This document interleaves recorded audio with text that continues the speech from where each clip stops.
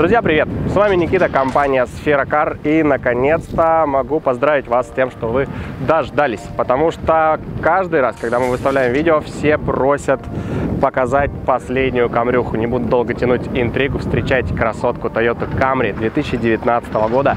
Девятое поколение с правым рулем.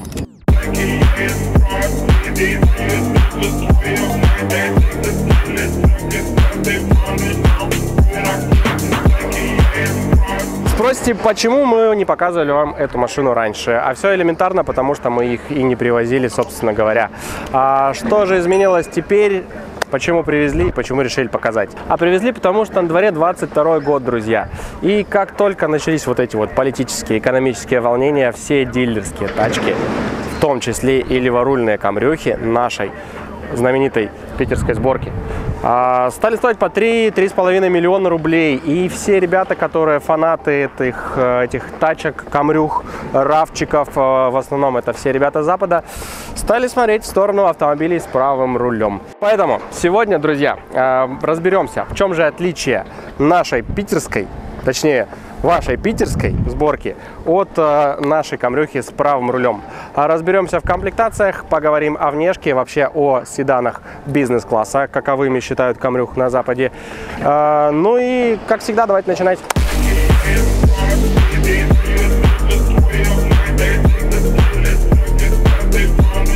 Начнем с внешки, как положено.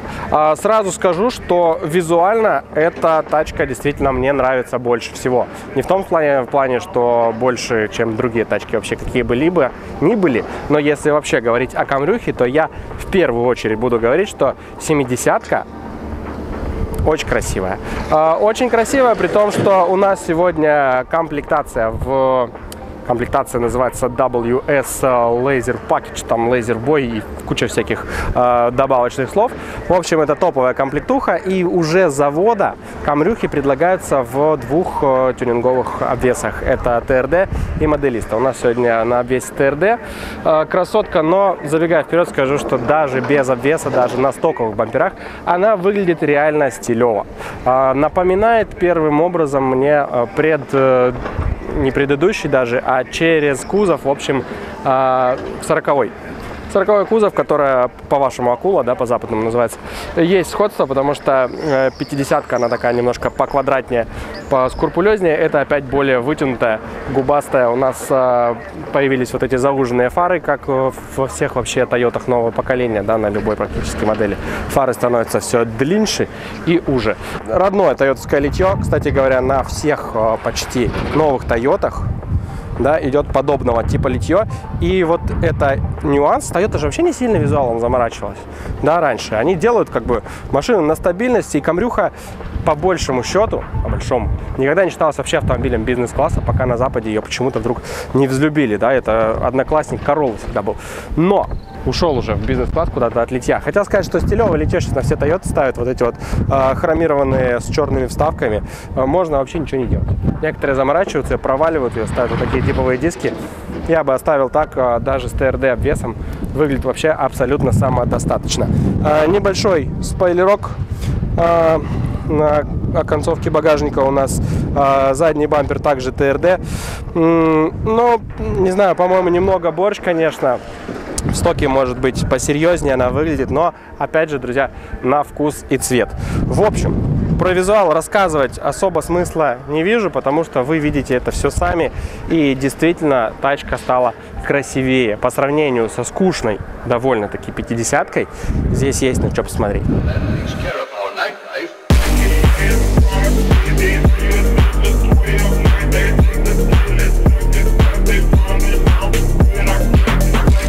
Давайте заглянем в техничку, друзья, посмотрим, что у нас заставляет двигаться эту камрюху и чем-нибудь порадовала ли Toyota нас в этом поколении. Да, порадовала. А25А называется мотор. Э, все камрюхи в 70-м кузове, как и в 50-м, из Японии на правом руле идут только гибридные. Вы можете получить гибрид с двигателем 2,5 литра А25А, он называется, э, на переднем, либо на полном приводе. А в прошлом поколении а, гибридная установка была на 105 киловатт. В этом же с мотором А25А ее сделали всего на 88. Но мощность бензинового двигателя увеличили до 178 лошадиных сил. А, чуть позже прокатимся, посмотрим, к чему это привело. Я скажу, что все равно вы посмотрите. Но скажу уже сейчас, что вполне хватает для городских реалий э, даже более чем. Гонка, не гонка, ладно, давайте уже прокатимся, разберемся, там все увидим. В общем, как и все тойотские гибридные э, автомобили, эта тачка работает у нас в паре с планетаркой, поэтому по техничке, по обслуживанию, по надежности вопросов никаких у вас сразу не должно быть. Есть возможность э, переключения в режиме лепестков, 6 э, псевдопередач вам предлагает, но здесь принцип такой же, как у автомате, искусственного удержания в одном положении. Поэтому ну, для любителей что-то создать себе какую-то механику движения можно этой штукой пользоваться. Так, ничего больше нового не прибавилось. А, здесь добавили немножко а, как сказать, виброизоляции. Здесь только на гидравлических подушках стоит мотор на четырех штуках, то есть никакой резины. Здесь максимально заморочились по шумке в этом поколении, потому что в прошлом жаловались, оказывается, на камере жаловались на шумоизоляцию. Здесь добавили этого, добавили вибро, пересадили все на гидроподушки э, силиконовые и вообще тачка сейчас не вибрирует ни капельки. Не знаю, кто жаловался на 50-ку, потому что мне она тоже казалась очень спокойной, очень таким автомобилем, который прям убаюкивает. Сел и поехал. Ладно, прокатимся, разберемся. Друзья, обратите внимание вот на вот эту решетку.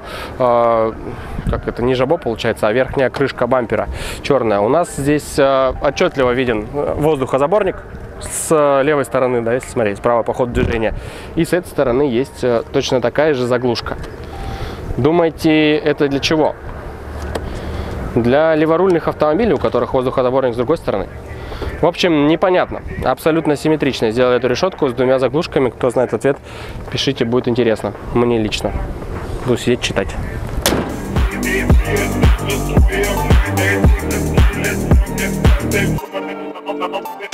А, итак, друзья, а, на самом деле, по секрету вам скажу, что мы уже снимали одну камрюху. Вот просто так получилось, что не все кадры сохранились. А, и поэтому сегодня мы находимся в другой камрюхе. Но про то тоже вы сегодня узнаете. А, короче, когда я садился после обзора кузова в салон, я сказал, что внешне она мне нравится больше, чем внутри. На самом деле, садясь сюда, хочется сказать, что все-таки насколько решает различие комплектаций. Прошлую коврёх, которую мы снимали, она была простенькой комплектации, у нее не было кожи, была на тряпке, а, был немножко попроще пластик салона а, и выглядела максимально прям скучно. Я ну, не сказал, что прям плохо, да, но она вгоняла в легкое такое уныние, то есть становилась от тачки ну, без души. Машина без души.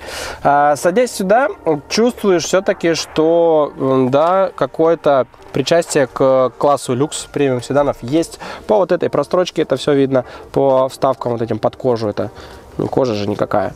Вот, эко-кожа. Кожаные сидушки, э, черный вот этот лакированный пластик э, по салону тоже классно. Э, ну, то есть чувствуется уже, что заморочились, уже не сидишь какой-то короле, хотя сейчас новые королы тоже видели э, в жирных комплектухах, там, дай бог.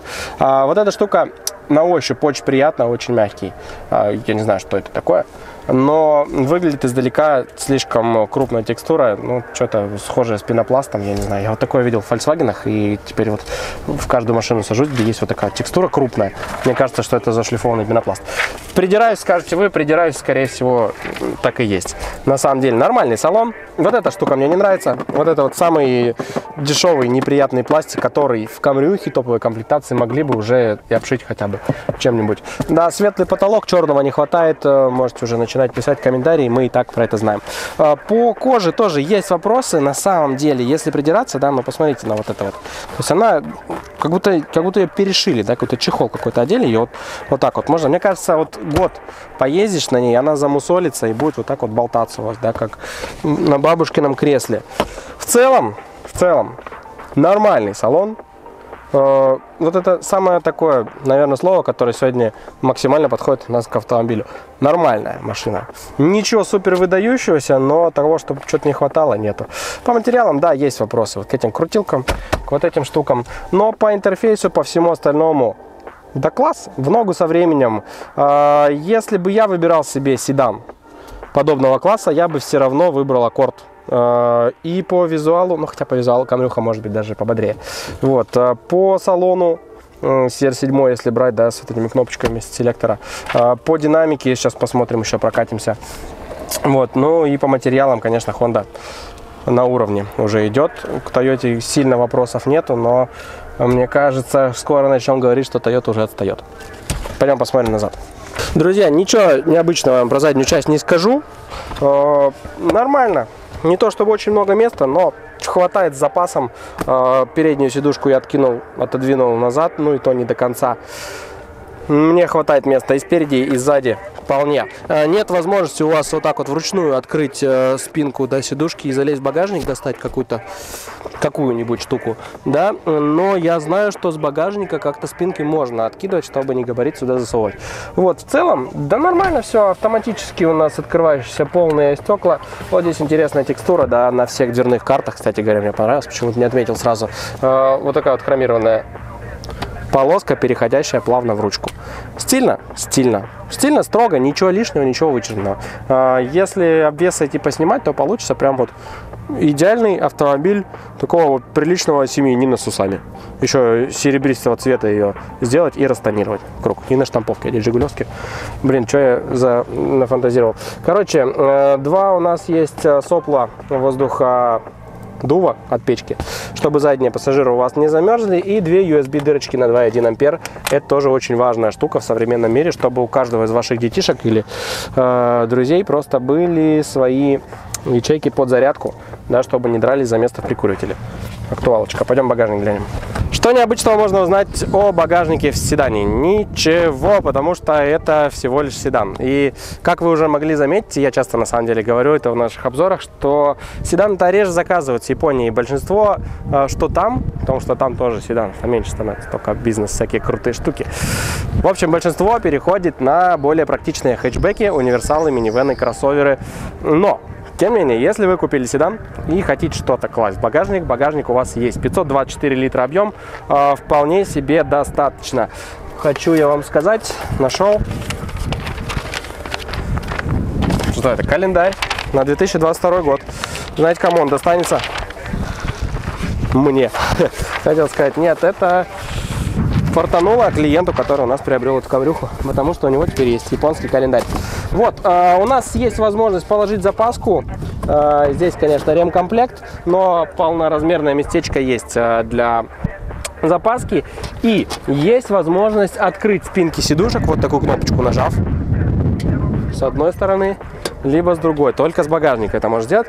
И по идее, если бы мы сейчас снимали Subaru или Honda, они бы вот так чпуньк и откинулись. А поскольку мы снимаем Toyota, то нам надо вот так вот засунуть туда э, ногу и пихнуть ее.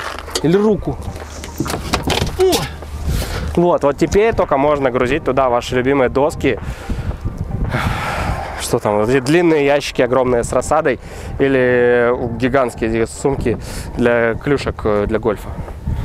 Ну, всякие не габариты, в общем, вы поняли.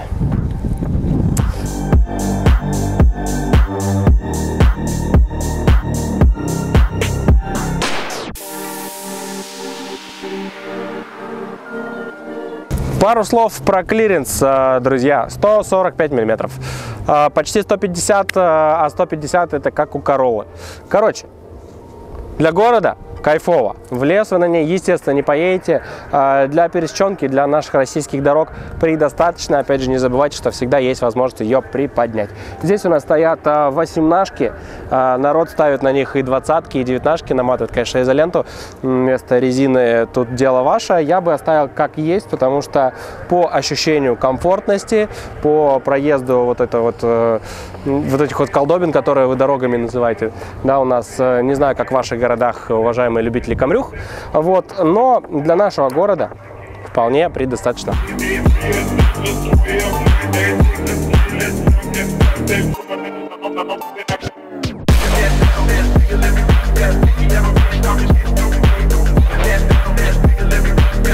Что я могу сказать об управлении этой тачкой?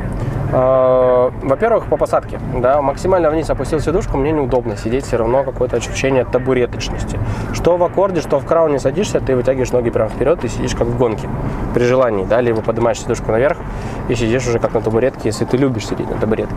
Я не люблю сидеть на табуретке, но здесь приходится сидеть, поэтому это минус определенно. Ко всему остальному по посадке претензий нету. По регулировкам все нормально, памяти здесь нету, конечно, нифига, я не знаю, бывает ли нет, опционально. По управлению тачки очень она мягкая это прямо в городе, это подкупает на самом деле. Что в прошлый раз я снимал сразу на трассе, сказал, что, блин, чересчур мягко болтается. Вот я сейчас еду по городу, она прям проглатывает вот эти вот все неровности, все кочечки, одним словом, камри. Камри, камри и осталось. Очень мягкая. По трассе я знаю, что ее болтает.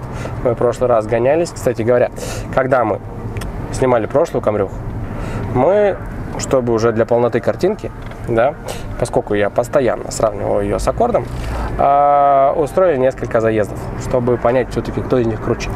Вот что получилось.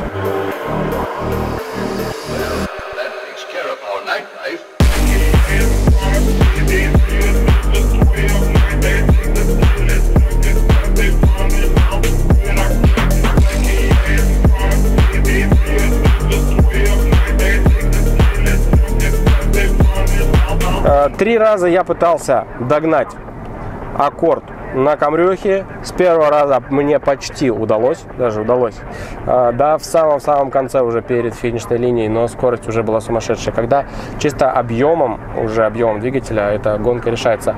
А остальные два раза, когда Илюха переключил спорт режим, он мне не оставил никакого шанса. Поэтому по динамике Honda до сих пор остается в топе. И по устойчивости на трассе вот по сравнению с аккордом, ну, Камрюха очень сильно отстает, а, когда начинаются вот такие вот у нас волны по трассе, ее начинает разбалтывать, и пес его знает, когда это все прекратится. Вот. А в целом, да классно, нормальный седан. Едьте просто осторожнее и объезжайте кочки. Тогда все будет у вас под контролем. Потому что безопасность это самое главное.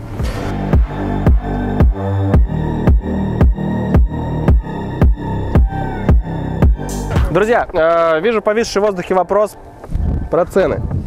А сколько стоит такая красотка? А сейчас я вам расскажу очень, очень сильно много денег, я бы так сказал, э, если бы это было другое время немножко. Поскольку сейчас у нас июнь 2022 года и доллар 62 рубля, э, вот такую красотку по самому минимуму можно привести от 1 миллиона 650 тысяч рублей.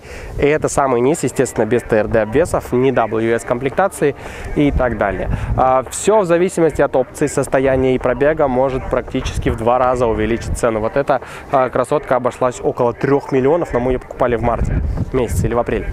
А, так скажу, что за два с половиной можно взять вообще самую жирную примерно в таком состоянии.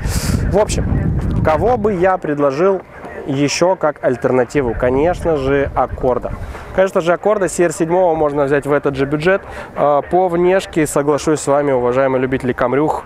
А, да, Камри красивей. Камри красивей и все. А, во всем остальном я бы выбрал аккорд, но опять же это я.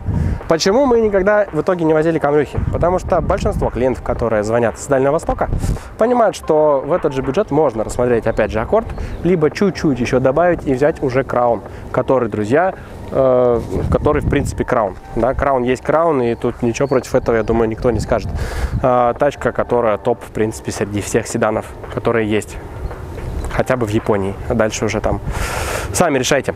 В завершении про цены. Что хочется сказать. Э, ковырялся на дроме, смотрел, сколько стоят дилерские тачки с левым рулем. Нашел какую-то камрюху, э, двухлитровая версия, новая, 22 года, э, стоит за 3, что-то 330 и указано, что приобретая... А, эта цена достигается путем получения скидки, сдав ваш старый автомобиль в трейдинг. И плюс к этому еще вам будет навязан пакет каких-то дополнительных опций, которые нужно приобрести тоже что-то тысяч на 300, типа ковриков в салоны или шторок на радиатор, в общем, какая-то ерунда. Зачем это нужно, когда вот такую красотку можно привести еще на гибридной платформе, еще и на полном приводе от миллиона шестьсот. Так что, расставляйте приоритет, друзья, обращайтесь к нам, и мы посмотрим вот такую красавицу. Но правый руль, правый руль. Расставляйте приоритеты, повторюсь. Поэтому, друзья, помните, что в Японии есть автомобиль для каждого, и, возможно, где-то там уже ездит ваша будущая малышка. Подписывайтесь на наш канал, если еще не подписаны. Ставьте лайки и до новых встреч.